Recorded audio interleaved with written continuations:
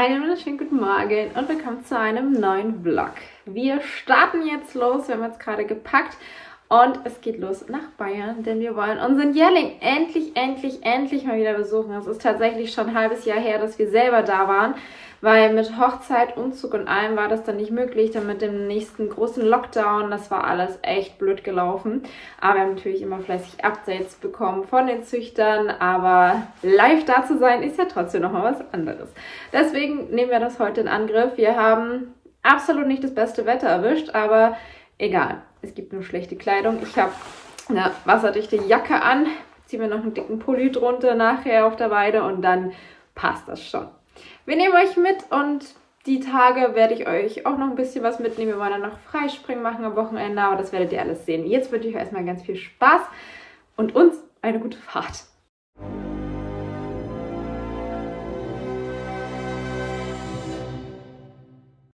Da kann ich euch aber auch gleich noch schnell das Outfit hier im Spiegel zeigen. Gibt es ja jetzt neu hier in meinem Kleidezimmer. Ah, ich liebe es auch. Die Kommode habt ihr im letzten Vlog schon gesehen, alles neu aufgebaut.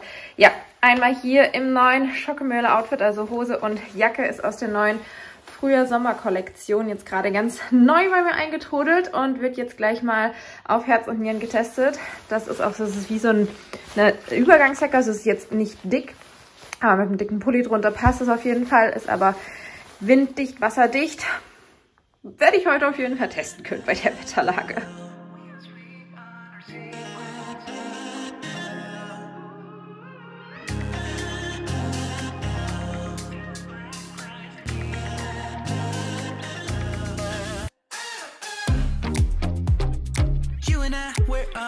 on the edge.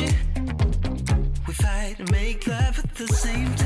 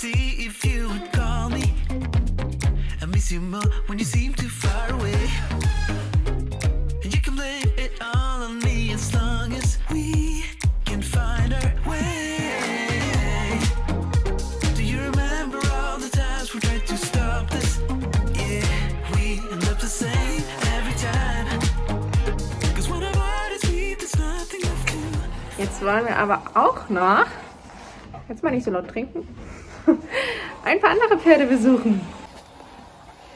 Na, wen haben wir denn da?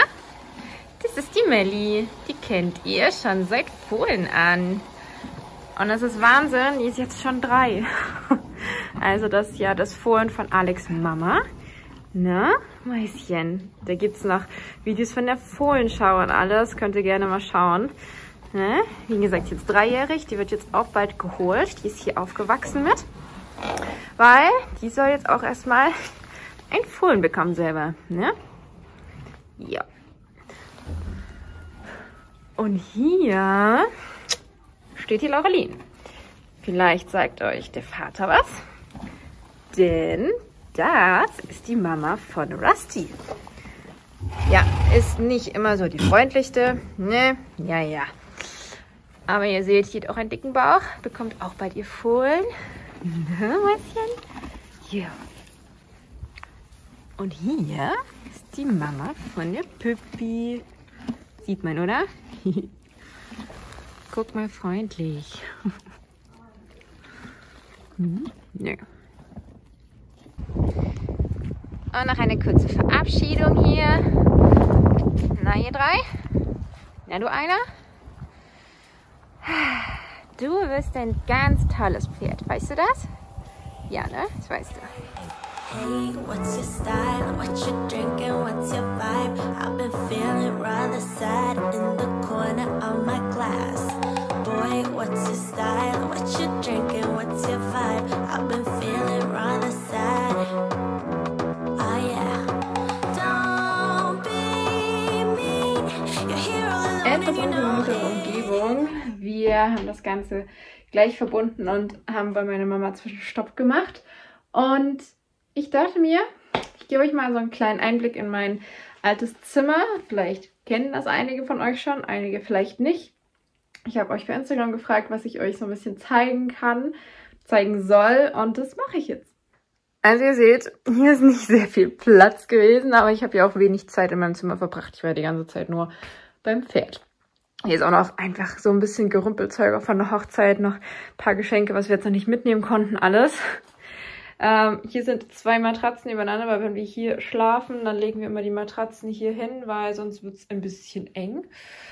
Aber das, was natürlich ein bisschen spannender ist, sind zum Beispiel hier einige Pokale auch eine Medaille, die mir sehr viel bedeutet vom Bundeschampionat. Da sind wir einmal Dritter geworden. Also Bundeschampionat ist ja das Championat für junge Pferde. Da muss man sich ja über die Saison qualifizieren. Ja, wir hätten leider an diesem besagten Championat auch Champion werden können, also Gold holen können. Aber da gab es leider einen blöden Vorbeirenner im Gelände. Deswegen waren wir dann nur noch Dritte am Ende. Was natürlich ins Auge sticht, ist dieses wunderschöne Bild. Das kann man auch beleuchten. Gut, die Beleuchtung könnte man mal reparieren, aber wofür? Ich bin ja nicht hier. ja, also das ist wirklich handgemalt. Und ich mache hier so meine Hand als Größenvergleich hin. Ne? Also das ist schon sehr groß. Das war auch gar nicht geplant, dass das so groß ist. Das ist hier auch echt ziemlich massiv, ziemlich schwer. Das habe ich zu meinem 16. Geburtstag bekommen. Das ist Tobi, mein Erfolgspony, was ihr hier gezeichnet seht. Und kleine Anekdote dazu.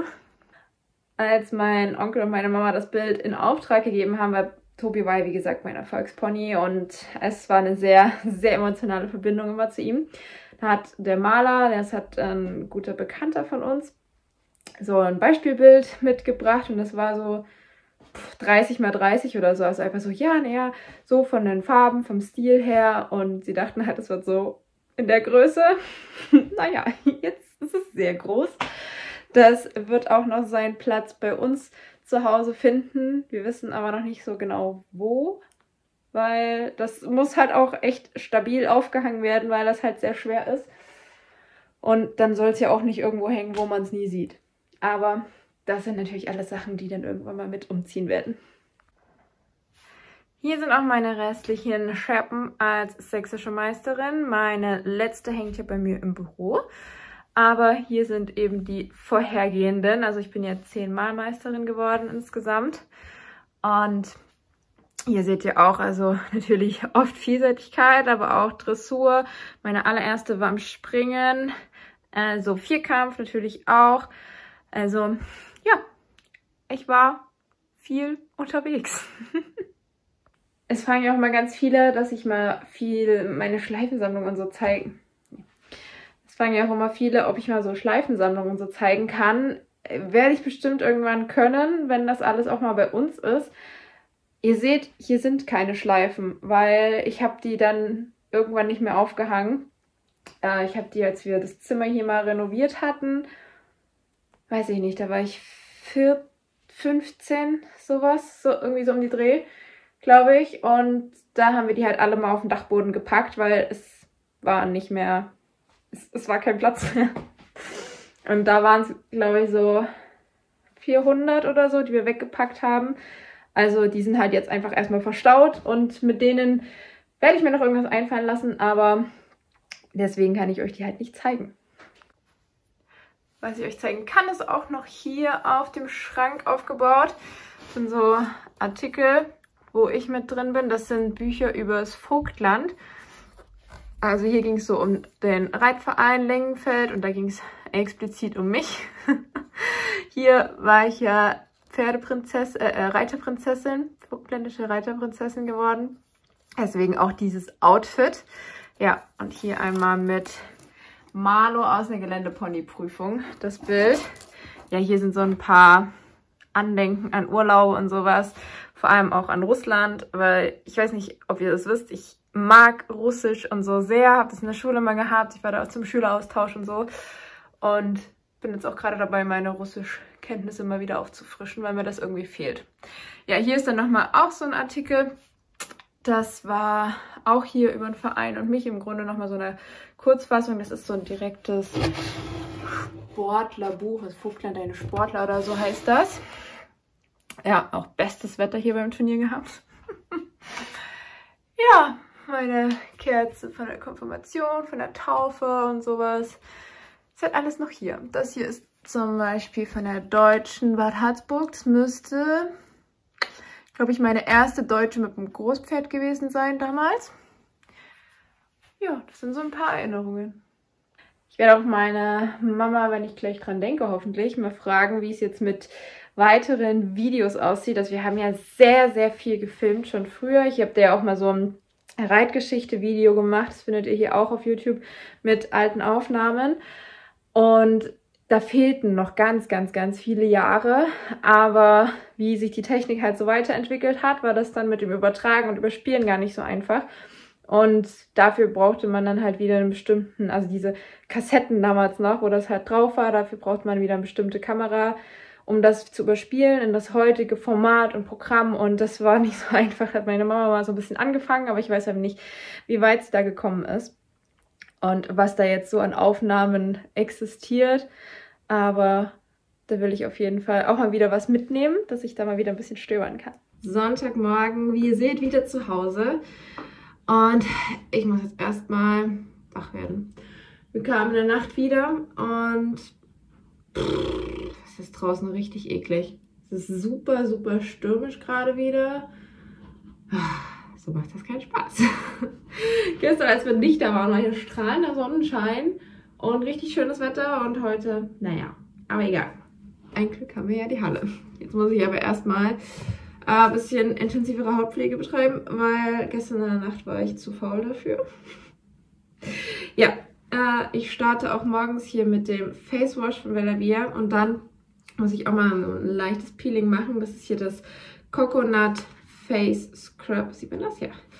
Und ich habe hier immer so ein bisschen Hautschüppchen an den äh, Nasenflügeln und deswegen muss ich das immer mal machen, dass ich das hier alles wegbekomme und dass es da nicht weiter ausfranst.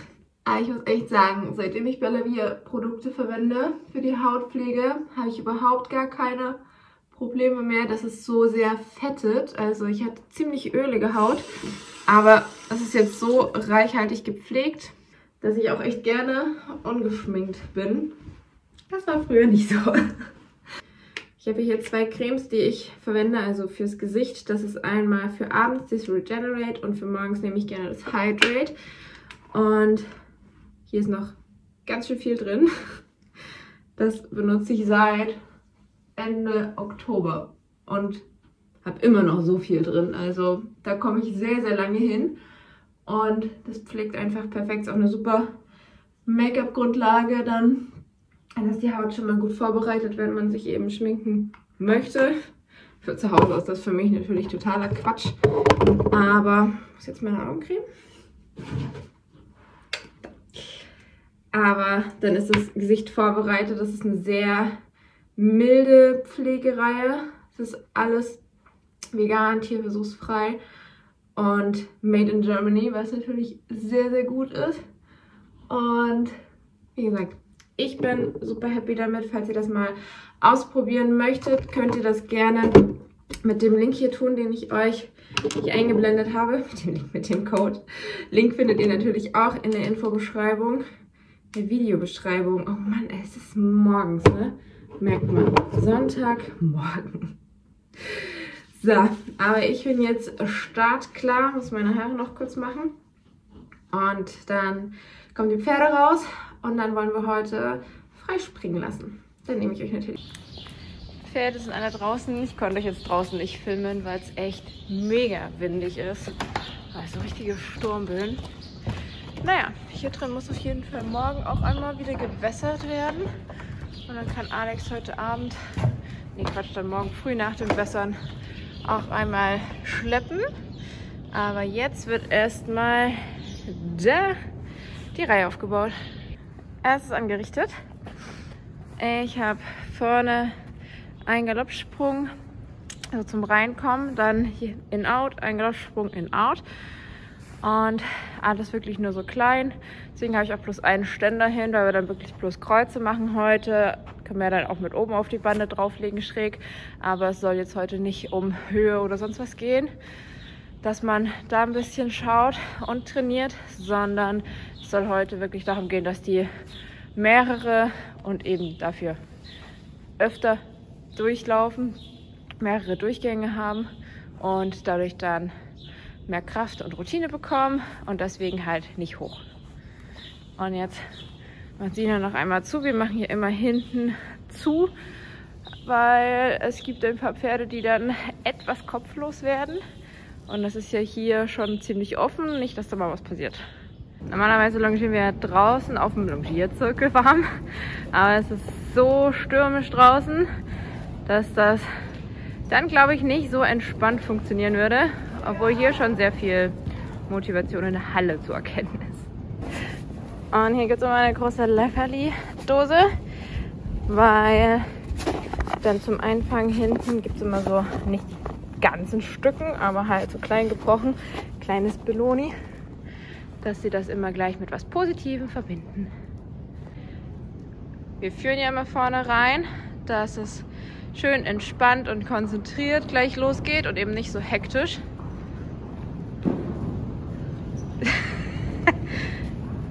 Super, klasse. Das ist auch gar nicht schlimm, wenn da mal so ein Stocker drin ist. Ist mir lieber, als wenn die da durchhetzen. Und er macht das mit so viel Über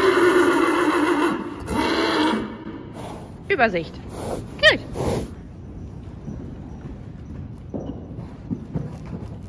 Super, klasse. Ist für den natürlich auch ganz schön eng ist, weil er ja so groß ist. Wenn wir jetzt dann höher machen, mache ich die Abstände auch so ein klein wenig weiter, dass es nicht zu schwer wird. Aber das ist halt eine super Übung.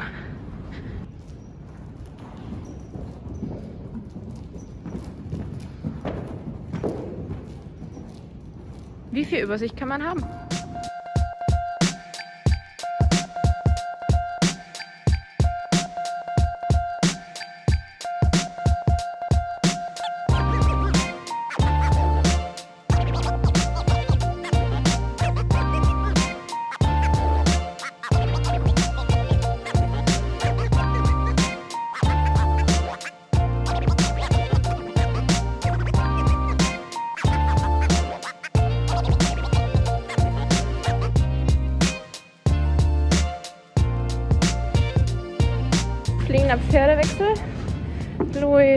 Fertig und kann raus.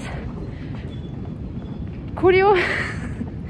Einmal fliegender Pferdewechsel. Louis fertig und kommt raus. Coolio wird angefangen zu longieren. Ich äppel in der Zeit jetzt schon mal ab und misste weiter.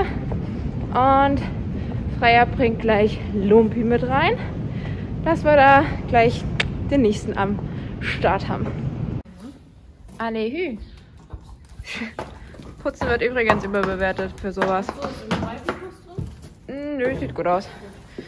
Guck mal, dass der Schweif sauber ist, dass nicht das ganze Stroh in der Halle verteilt wird.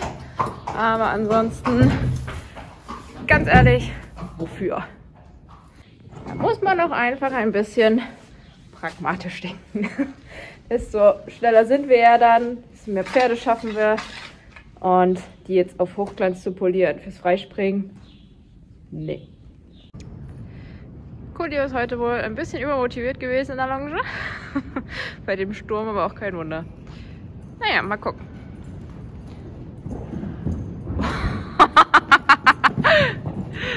ja, ja, ich habe den Ochser auch gesehen.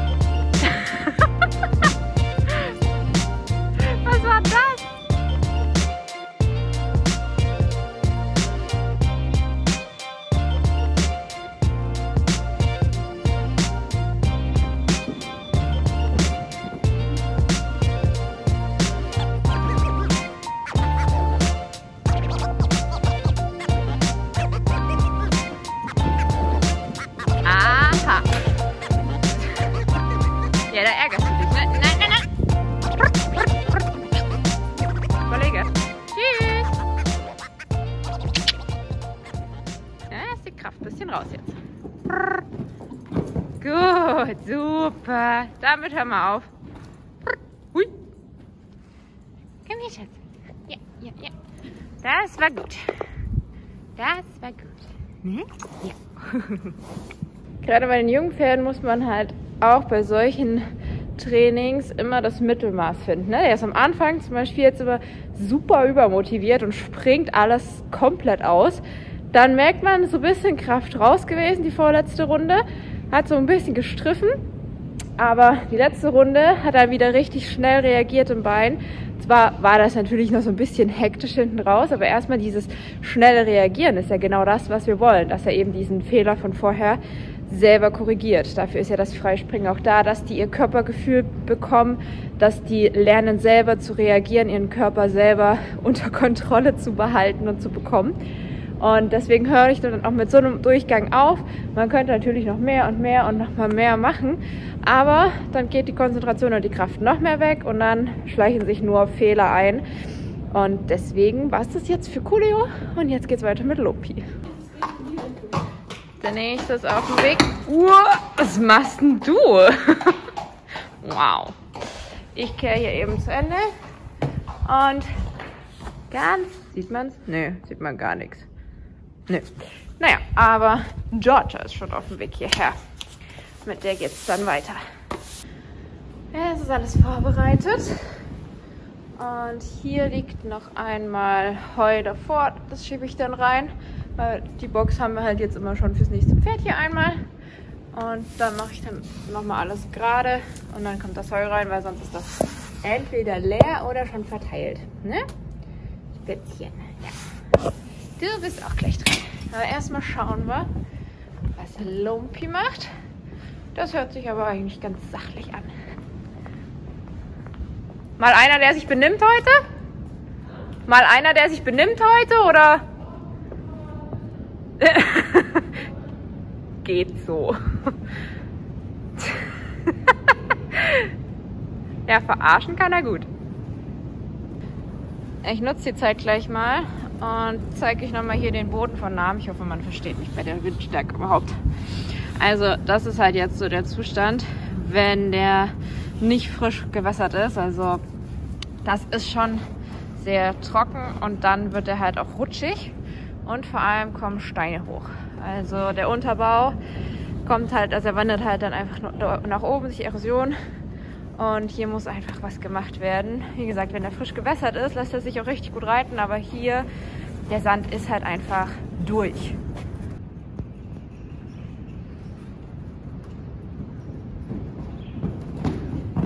Super, klasse.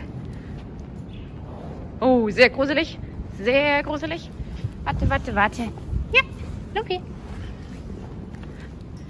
Lumpi, Lumpi, du siehst aus. Da. Wenn ihr aufmerksam seid und aufmerksam zugeschaut habt, habt ihr gesehen, dass ich am Anfang immer erstmal hier die Stange weggenommen habe. Jetzt lege ich die aber auch bei Lumpi hier rein, dass ich erstmal sehe, wie sie von alleine hingucken. Und die Stange ist ja dann einfach nur ein bisschen Rhythmushilfe, dass sie hier eben den Galoppsprung gleichmäßig groß machen und nicht zu weit reinlanden, dass es dann hier so eng wird. Das hilft dann einfach. Wow. Wie ist das passiert?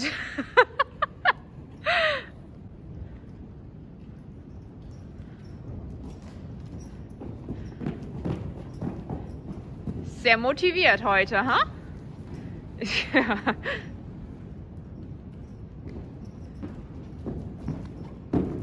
Sehr schön, super. Hey, das tut ihm so unglaublich gut. Das ist so klasse, dass wir das jetzt hier wieder machen können. Er ist ja ein Pferd, der benutzt ja seinen Körper sehr ungern. Ne? Aber das Freispringen fördert das natürlich sehr. Und auch die Übersicht und die Ruhe, wenn man bedenkt, wie schnipselig, der da am Anfang durchgehopst ist. Ja, weiter geht's.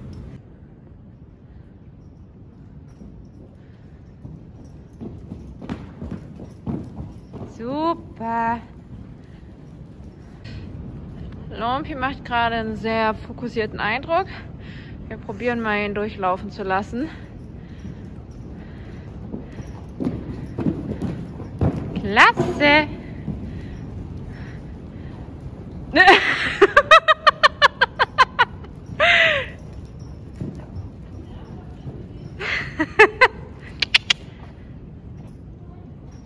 Ja, sonst führen jetzt wieder rein, das ist ja gut.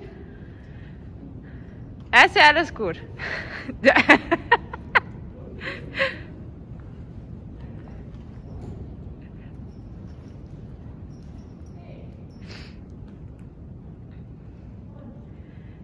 Freundchen, entweder durchlaufen oder warten. Gut.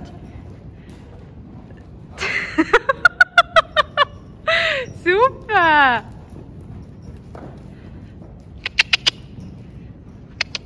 Ah, ah, fast. Fast, Lumpi.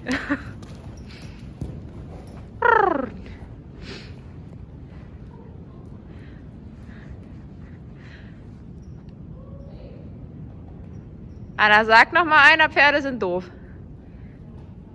Dass er genau weiß, dass er da eigentlich zu bremsen hat. Ich muss mal einfach die Schneise weiterziehen, weil rein will er ja. Ja, ja. Hm. Super. Super.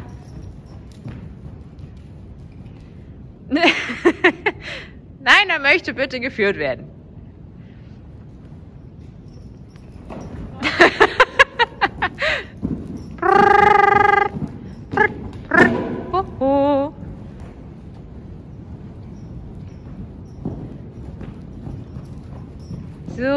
Super. Also wirklich, ne, wenn er ein bisschen loszackelt, einmal anhalten, soll er mal so ein bisschen ruhiger vorne reinkommt. Ja. Er darf ja auch nicht einfach los. Wenn er es darf, ja, aber nicht immer. Jawohl. Brrr. Gut. Besser. Super. Weiter geht's mit Georgia. Auch übermotiviert, wie eh und je. Aber ich habe es euch ja die letzten Male schon gesagt, dass sie zurzeit richtig Fortschritte macht. Also die ist ja jetzt, jetzt sind es glaube ich sieben Wochen da und kommt ja komplett aus der Babypause quasi. Und auch körperlich. Die sieht schon viel besser aus, ne? Die hat nicht mehr so einen Bauch, nicht mehr so dick. Richtig gute Figur bekommt sie. Der Bauch kommt hoch. Bauchmuskeln bauen sich auf. Richtig super. Weil es natürlich noch so ein bisschen schwer ist. Seht ihr auch jetzt hier, hier im freien, lockeren Longieren. So, dass vorne genauso dieses Ausgleichen mit dem Hals, mit der Balance noch nicht so ganz festhalten kann, aber das kommt mit der Zeit. Das ist schon viel, viel besser geworden, auch beim Reiten. Da kommt auch nächste Woche, glaube ich, also am Mittwoch habe ich das getimed, ähm, ein aktuelles Reitvideo mit ihr. Ja, super. Ja, aber geht doch. So wild ist sie gar nicht heute. Für Georgia habe ich die Stange aber direkt hingelegt, weil da weiß ich von den letzten Malen, dass sie das einfach auch braucht, um da Ruhe zu bewahren und die Übersicht zu haben.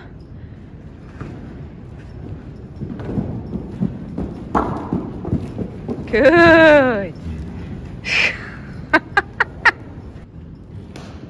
ah ja.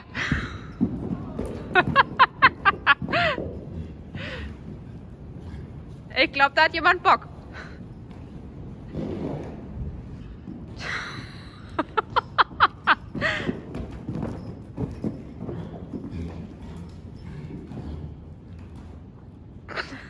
Du hast doch einen an der Klatsche.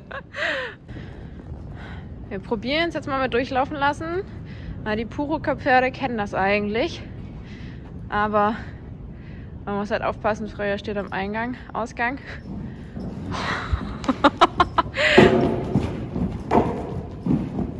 Super. Gut.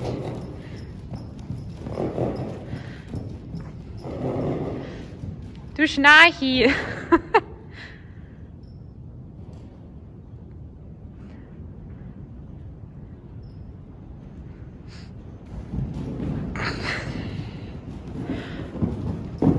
Also Motivation ist da, ne? Da kann man nichts sagen. Und die Technik auch. Ey, wie die sich rund macht und die Beine da wegkriegt, obwohl sie da so durchflitzt.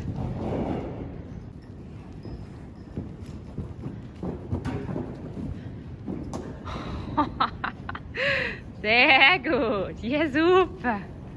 Ja, super.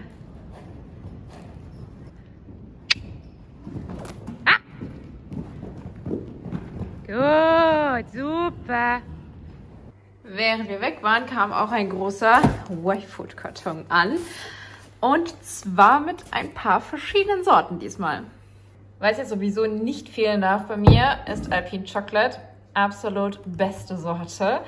Für Alex etwas Fruchtigeres. Ich mag solche bärigen Sachen nicht so gerne, aber er.